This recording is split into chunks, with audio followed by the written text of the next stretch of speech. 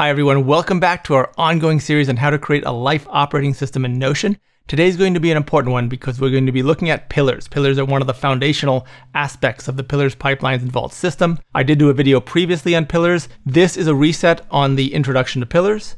It's also an expansion of pillars because as we're moving into version 2.0 of the system, this is part of the version 2 expansion, the role that pillars play, and I'll explain that today. But before we get into that, I just wanted to briefly mention we have launched our online community, a membership group with a really passionate group of people into Notion, into Pillars, Pipelines, and Vaults, personal performance of all kinds, mental clarity, productivity, knowledge management. All these topics have channels and sections where we explore them in great depth. We share ideas across the community. I'm super active in there. It's the easiest way to get access to me on a more regular basis. Ever since the YouTube channel has gotten so big, I just can't get to all the comments. So now that's the place where you can most easily access my thoughts and feedback on different ideas across all of these different topics. So if interested, it's at yearzero.io. It's called the Year Zero Collective.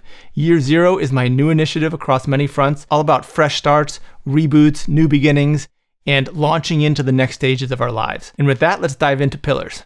I always access pillars through the alignment zone, and here you can get a sneak peek at the new visual redesign of the alignment zone. So opening the pillars section, and things will look pretty familiar so far.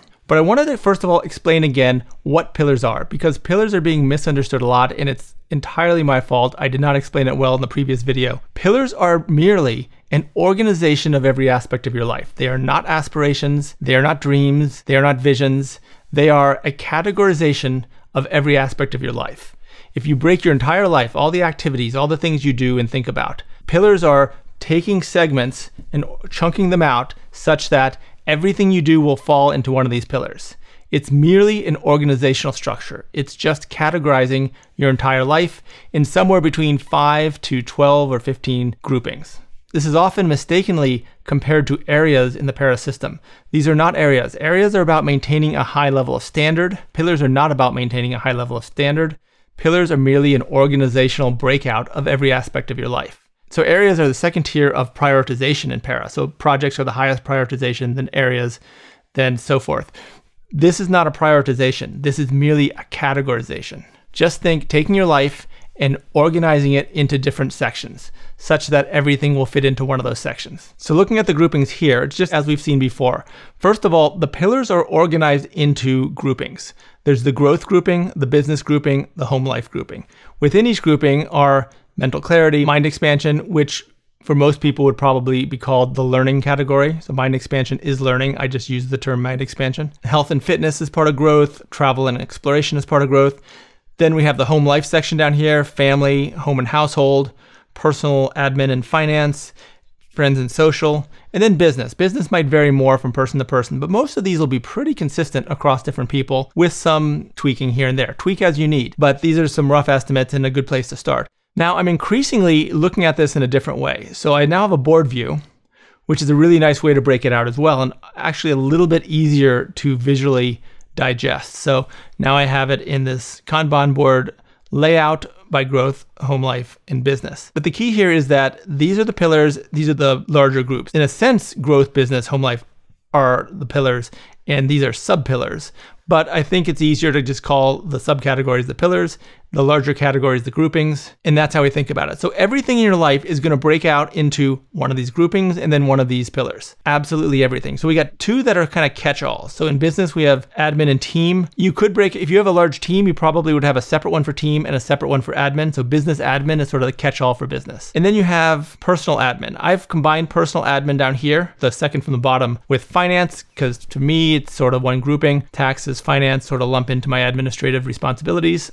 But if you had a lot going on financially, a lot of investments, you might have finance as its own pillar and then personal admin as another pillar that's sort of a catch all for all the little things that you have to deal with. But it breaks out such that everything in your life will fit into one of these sections. It's not lofty, it's not aspirational, it's just groupings across your whole life, categorizations for the purpose of organization. This will help you organize your whole life and will give you a window into each aspect when it's time to sit down and address that part of your life. Now, just to make sure that point's super clear, this is a visualization we're going to be using on the Pillars, Pipelines, and Vaults overview in a few videos from now. But I want to look at one part in particular, the Pillars part, and we'll see we have the groupings, the growth, home life, and business under pillars. Pillars help you organize by life segment. And these are the groupings. And then, of course, there's each pillar within each grouping. And these slice across all the pipelines and all the vaults. You'll see these arrows coming down here. That signifies that every value goal, every goal outcome, every project is organized by this categorization structure. So the ones that are in the growth categories are all tagged to the pillars that are appropriate. That is how you're organizing everything in your life. And that way, when you look at those pillars, you're going to be able to see everything happening across the pipelines. And it's exactly the same with the vaults. Down here, we have the vaults the knowledge vault, the media vault, the courses and training vault, the notes and ideas vault, the tools and skills vault. In every case, these are being assigned to specific pillars and organized and categorized that way. So we have the ability from our pillars view to look at all of our knowledge that's relevant to those pillars. So that gives us a master view of everything in our life that's happening according to those pillars across all the pipelines and all the vaults. And we'll get into that more shortly. Then cycles are outside of this pillars organization because cycles are more about time. Cycles aren't assets moving through the system, they are review processes and data tracking. So they live outside of it. But everything in the pipelines and vaults is organized and structured by pillars. And even anything outside of your Notion system, such as Dropbox or Evernote or OneNote or Google Drive or Box.com, any of these will also be organized by pillars. I'm going to do a separate video on that shortly to show how that works. But this is another differentiation from Para. We're not organizing by the hierarchy structure of projects most important, areas second most important, and then so forth. We're organizing all those external folders by category of your life, which keeps things much more organized and easier to find. Because when you organize by priority ranking, which is essentially what Para is, things are shifting and moving to different folders. And that makes them hard to find if they're moving around. This way, they're not moving around. And we have another way of dealing with high priority and low priority items within the pillar system. I'll show you that when we get to the video on using pillars in PPV outside of Notion.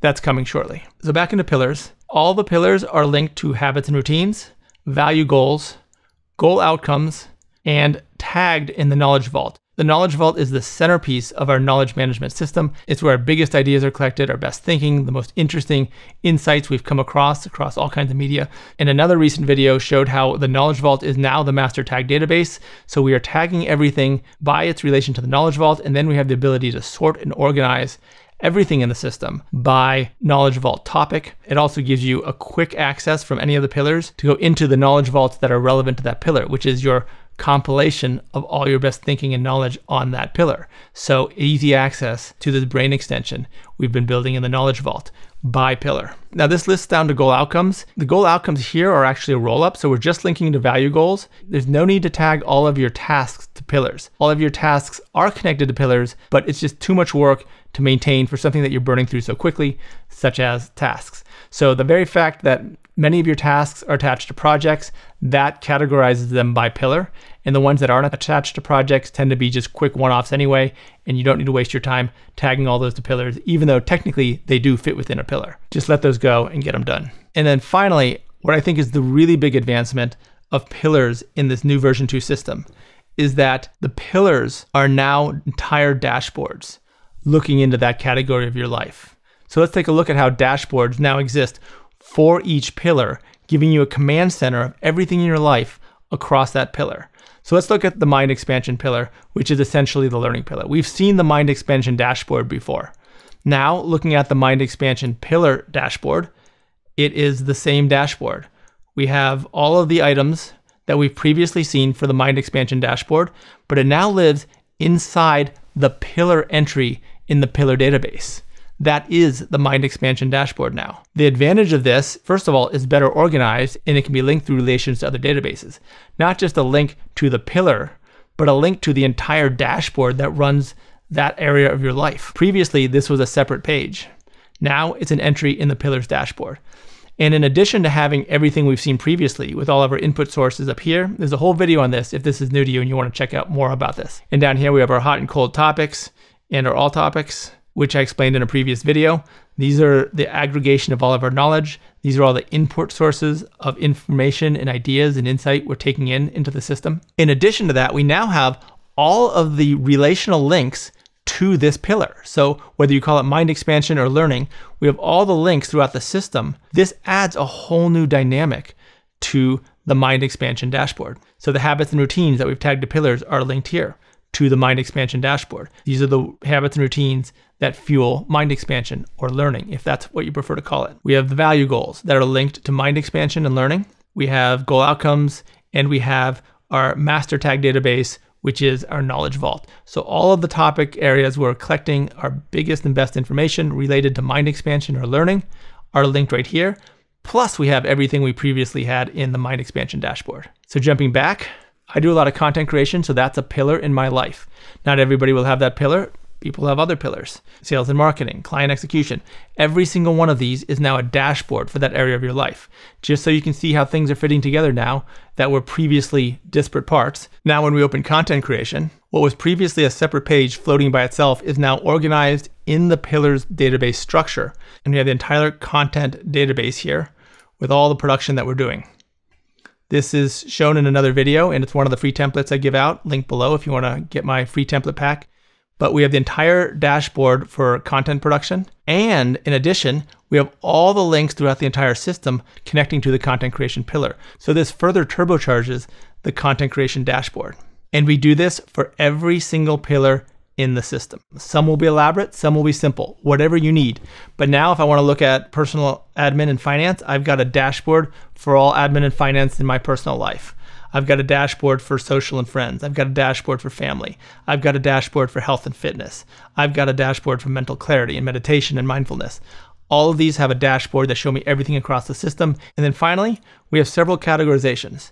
We have active, paused, or inactive. I'm going to in the next video, I'm going to talk about CC versus no CC. But for now, note every pillar is either active, paused, or inactive. If it's inactive, it's removed. It's not even shown, so it's filtered out here. Paused means it's a part of my life, but I'm not actively engaged in it right now. So right now, I have paused two of my pillars. Travel and exploration is on hold, and really friends and social. But I will get back to that when things change, and then that will be made active again. So those are paused. The rest are active. That just brings clarity on where to focus when I come to the dashboard. And that's pretty much it. Pillars are just a categorization of every aspect of your life, such that everything you're doing will fit into one of them. It's an organizational structure throughout the Notion system and outside of the Notion system, as we'll see in a future video. But breaking your life into pillars brings clarity. It means when you check in during your weekly, monthly reviews, you can jump into the dashboard that's relevant for each section that you're taking a peek at everything that's related to that across all of your pipelines, across all of your vaults will be there with clarity and transparency for that section of your life.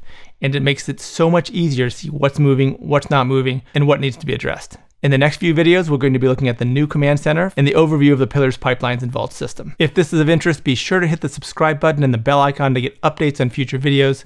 Leave thoughts or questions below, or join us at my new online community for a broader conversation. That's at yearzero.io and hit like if you found this video valuable. I also write a newsletter called Mind and Machine on increasing human capability. I give away several of my best Notion templates to anyone who subscribes to the newsletter. You can, of course, unsubscribe at any time, but I hope you'll give it a chance. I work super hard to pack it with a lot of valuable insight. The newsletter link is also below in the show notes. Thanks for watching. Lots more to come.